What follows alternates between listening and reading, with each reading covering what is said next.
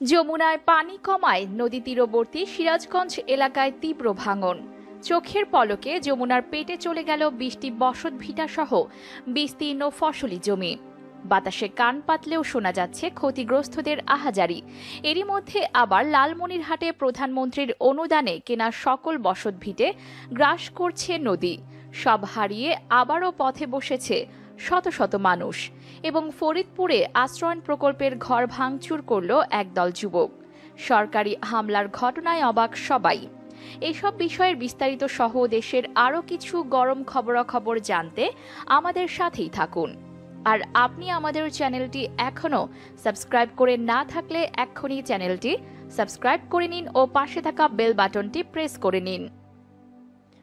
যমুনা নদীর পানি কমার সাথে সাথে সিরাজগঞ্জের চৌহালি ও শাহজাদপুরের নদী তীরবর্তী এলাকায় দেখা দিয়েছে তীব্র নদী ভাঙন। ইতোমধ্যেই নদীগর্ভে বিলীন হয়েছে অন্তত বিশটি বসতভিটা সহ বিস্তীর্ণ ফসলি জমি। ভাঙন রোধে বালি ভর্তি জিও ব্যাগ ফেলা হলেও তা কাজে আসছে না। সরেজমিনে জেলার চৌহালি ও শাহজাদপুরের ভাঙন এলাকা ঘুরে পানি উন্নয়ন বোর্ড ও স্থানীয়দের সঙ্গে কথা বলে জানা যায়। যমুনা নদীর পানি বাড়ার সঙ্গে সঙ্গে শুরু হওয়া জেলার চৌহালি উপজেলার নদী ভাঙন পানি কমায় সময় তীব্র আকার ধারণ করেছে।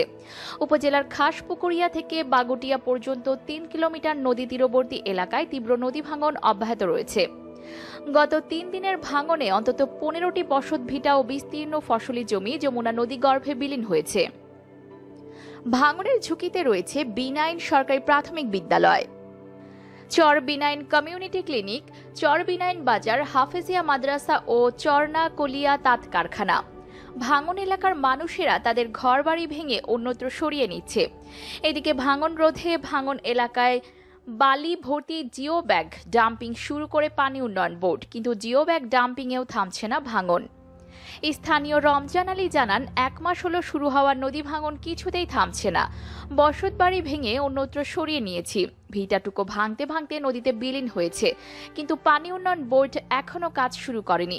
গত তিন দিন আগে জিও বস্তা ফেলা শুরু হয়েছে, কিন্তু এতে কাজ হচ্ছে না।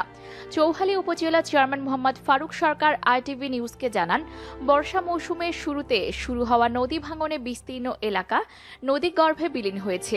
দেরিতে হলেও ভাঙন রোধে কাজ শুরু করেছে। পানি উন্নয়ন বোর্ড এরই মধ্যে ভাঙন কবলিত মিটুয়ানি উচ্চ বিদ্যালয় এলাকায় নদী তীরবর্তী দুইশো মিটার ও চর বিনাইনে একশো মিটার এলাকায় জিও ব্যাগ নিক্ষেপ করা হয়েছে। গত মে মাসে ভাঙনের শিকার হওয়া শাহজাদপুর উপজেলার কৈচুরি ইউনিয়নের পাঁচিলে বিপুল পরিমাণ জিও ব্যাগ ফেলে ভাঙন রোধ করা হয়। ওই এলাকায় আবারও শুরু হয়েছে নদী ভাঙন। একদিনে জিও ব্যাগ সহ অন্তত পাঁচটি বসত ভিটা ও বিস্তীর্ণ ফসলি জমি নদীগর্ভে বিলীন হয়েছে, ফলে ওই এলাকায় বিরাজ করছে ভাঙন আতঙ্ক। যারা সব হারিয়েছে তাদের আহাজারিতে বাতাসে কান পাতাও কঠিন হয়ে যাচ্ছে। সব হারিয়ে একেবারে নিঃস্ব হয়ে গেছে অসংখ্য পরিবার। ভাঙন এলাকার ইয়াসিন আলী জানান, ভাঙন রোধে বালি ভর্তি জিও ব্যাগ সহ বিস্তীর্ণ এলাকা নদীগর্ভে বিলীন হয়ে যাচ্ছে, কিন্তু পানি উন্নয়ন বোর্ড কোনো খবর নিচ্ছে না। দ্রুত পদক্ষেপ গ্রহণ করা না হলে ভাঙন রোধ সম্ভব হবে না। কৈজুরি ইউপি চেয়ারম্যান সাইফুল ইসলাম জানান, পাঁচিলে নদী ভাঙন মানুষ সর্বস্ব খোয়াচ্ছেন, অথচ পানি উন্নয়ন বোর্ডের নির্বাহী প্রকৌশলীকে মোবাইল ফোনে পাওয়া যায়নি। ভাঙন রোধে কি পদক্ষেপ গ্রহণ করা হচ্ছে তা স্থানীয় জনপ্রতিনিধি হিসেবে আমরা জানতে পারছি না। নামমাত্র জিও ব্যাগ নিক্ষেপ করা হচ্ছে। এভাবে ভাঙন রোধ সম্ভব নয়। আমরা চাই স্বচ্ছতার সাথে কাজ করুক পানি উন্নয়ন বোর্ড, যাতে ভাঙন রোধ হয়। অন্যদিকে লালমনিরহাটের পাটগ্রাম উপজেলায় প্রধানমন্ত্রী ত্রাণ তহবিল থেকে টাকা পেয়ে জমি কিনে বসতবাড়ি গড়ে তুলেছিলেন অসহায় দিনমজুর বদিয়া রহমান। তার সেই বসতবাড়ি নদীগর্ভে বিলীন হওয়ার শঙ্কা দেখা দিয়েছে। বসতভিটে রক্ষায় প্রধানমন্ত্রীর সাহায্য চেয়েছে পরিবারটি। পাটগ্রামের কুচল্লিবাড়ি ইউনিয়ন পরিষদের ইউপি মাছ দিয়ে বয়ে চলা সিঙ্গিমারি নদীতে বসতভিটে হারানোর শঙ্কায় মুষড়ে পড়েছেন চার নং ওয়ার্ডের কবরস্থান এলাকার বাসিন্দা বদিয়ার। স্থানীয়দের সঙ্গে কথা বলে জানা গেছে, সংসারে ঘানি টানতে গিয়ে অধিক পরিশ্রমে পঞ্চাশি উপার্জনক্ষম হয়ে পড়েছেন বদিয়ার। এখন আর কাজকর্মে যেতে পারেন না। স্ত্রী অন্যের বাড়িতে কাজ করে সংসারে ঘানি টানছেন। উনিশশো আটানব্বই সালে প্রধানমন্ত্রী শেখ হাসিনা ত্রাণ তহবিল থেকে পাওয়া দশ হাজার টাকায় চব্বিশ শতাংশ জমি কিনে বসতবাড়ি করে সেখানে বসবাস শুরু করেন বদিয়া রহমান। নদী ভাঙনে এখন মাত্র বারো শতক বসত ভিটে জমি রয়েছে তার। নদী ভাঙনে পর্যন্ত দুইবার তার ভিটের ক্ষয় হয়েছে। স্থানীয় প্রভাবশালী ব্যক্তিরা সিঙ্গিমারি নদী থেকে বোমা মেশিন দিয়ে বছরের পর পাথর উত্তোলনের ফলে যে গর্ত সৃষ্টি হয়েছে সেখানেও ভেঙে পড়েছে বদিয়া রহমানের বসত ভিটে। এই বর্ষায় আবারও তার বসত ভিটে ভাঙনের কবলে পড়ার শঙ্কায় রয়েছে। সরেজমিনে দেখা গেছে সিঙ্গিমারি নদীর ভাঙনে বাউড়া পাটগ্রাম মহাসড়কটি ঝুঁকিতে রয়েছে। পানি বাড়ার সঙ্গে সঙ্গে ভাঙনও বাড়ছে।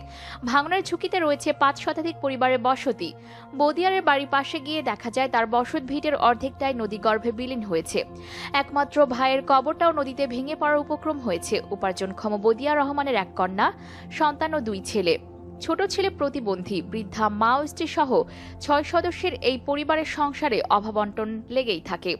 এর মধ্যে বসত ভিটে ভাঙার আতঙ্কে দিন যাচ্ছে তার। বদিয়া রহমান বলেন, প্রধানমন্ত্রী শেখ হাসিনার দেওয়া টাকায় জমি কিনে বাড়ি করেছি, সেই বাড়ি ভিটে নদীর পানিতে ভাঙতে শুরু করেছে। এখন বাড়ি রক্ষায় উপায় নেই, তাই প্রধানমন্ত্রীর কাছে ভিটাটুকু রক্ষার আবেদন জানাচ্ছি। লালমনিরহাট জেলা আওয়ামী লীগের শিল্প বাণিজ্য বিষয়ক সম্পাদক শহীদুল ইসলাম বাবুল বলেন, সেই সময় ভূমিহীন বদিয়া রহমানের অবস্থা জানতে পেরে প্রধানমন্ত্রী ত্রাণ তহবিলে আবেদন করলে তার নামে দশ হাজার টাকার অনুদান মঞ্জুর হয়। পরে শুনেছি বদিয়া রহমান ওই টাকা দিয়ে তার এলাকার চব্বিশ শতাংশ জমি কিনে বসবাস করেন। অপরদিকে ফরিদপুরের মধুখালী উপজেলায় আশ্রয়ণ প্রকল্পের ঘর ভাঙচুরের ঘটনা ঘটেছে। রোববার রাতে মেঘচামি ইউনিয়নের কালীনগর এলাকায় এ ঘটনা ঘটে। এ সময় ঘরে দুটি পিলার ভেঙে ফেলে অজ্ঞাত কয়েকজন যুবক।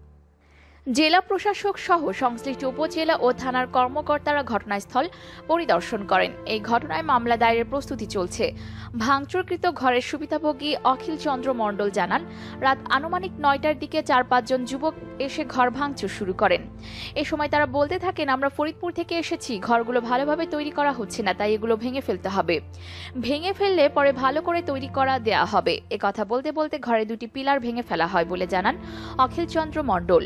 মধুখালী থানা পরিদর্শক তদন্ত রবীন্দ্রনাথ তরফদার জানান, ঘটনাস্থলে পরিদর্শন করা হয়েছে। বিষয়টি তদন্ত চলছে। অভিযোগ পেলেই আইনগত ব্যবস্থা নেওয়া হবে। মধুখালী উপজেলা নির্বাহী অফিসার মোহাম্মদ মোস্তফা মনোয়ার জানান, সরকারের অগ্রাধিকার আশ্রয়ণ প্রকল্পের এক ও দুইয়ের আওতায় প্রধানমন্ত্রীর কার্যালয়ের অধীনে নির্মাণাধীন মধুখালী উপজেলার মেঘচামি ইউনিয়নের দুই নম্বর ওয়ার্ডে অখিল চন্দ্র মণ্ডল সহ পাঁচজনের জন্য পাঁচটি ঘর নির্মাণের কাজ চলমান রয়েছে। কে বা কারা রাতে দুটি পিলার ভেঙে ফেলেছে, বিষয়টি জানতে পেরে ঊর্ধ্বতন কর্তৃপক্ষকে জানানো হয়। ফরিদপুরের জেলা প্রশাসক অতুল সরকার বলেন, ঘটনাস্থল পরিদর্শন করা হয়েছে। সরকার ভাবমূর্তি নষ্ট করার জন্য একটি কুচক্রি মহলে ঘটনা ঘটাতে পারে। কোনো অন্যায়কারীকে ছাড় দেওয়া হবে না। সঠিক তদন্তের মাধ্যমে আইনগত ব্যবস্থা নেওয়া হবে। সুপ্রিয় ভিউয়ার্স নদী ভাঙন রোধে প্রতি বছরই কিন্তু সরকার প্রচুর টাকা বরাদ্দ দেয়। তারপরও কোনোভাবেই ভাঙন রোধ করা যাচ্ছে না। এর পেছনে অনেকেই ভাঙন রোধের কাজে অনিয়মের কথা বলেন। অনেকে সরাসরি এমনও বলে ফেলেন, না ভাঙলে কিছু কিছু দুর্নীতিবাজরা খাবে কি? ভাঙলেই তো বরাদ্দ দিবে। আর তার থেকে কিছুটা মেরে খাবে। তাই তারা ঠিকমতো কাজ করে না বলেও অভিযোগ। এমন অভিযোগ শুনলে অবাক লাগে। এটাও কি সম্ভব? এ নিয়ে আপনার ব্যক্তিগত অভিজ্ঞতা থাকলে আমাদের সাথে শেয়ার করতে পারেন কমেন্ট করে। ভিডিওটি ভালো লেগে থাকলে অবশ্যই একটি লাইক দিন ও যত বেশি পারেন শেয়ার করুন। আর আপনি আমাদের চ্যানেলটি আজই প্রথমবার ভিজিট করে থাকলে আমাদের অন্য ভিডিওগুলো দেখুন।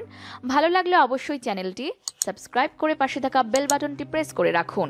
ধন্যবাদ এতক্ষণ সংবাদটি শোনার জন্য।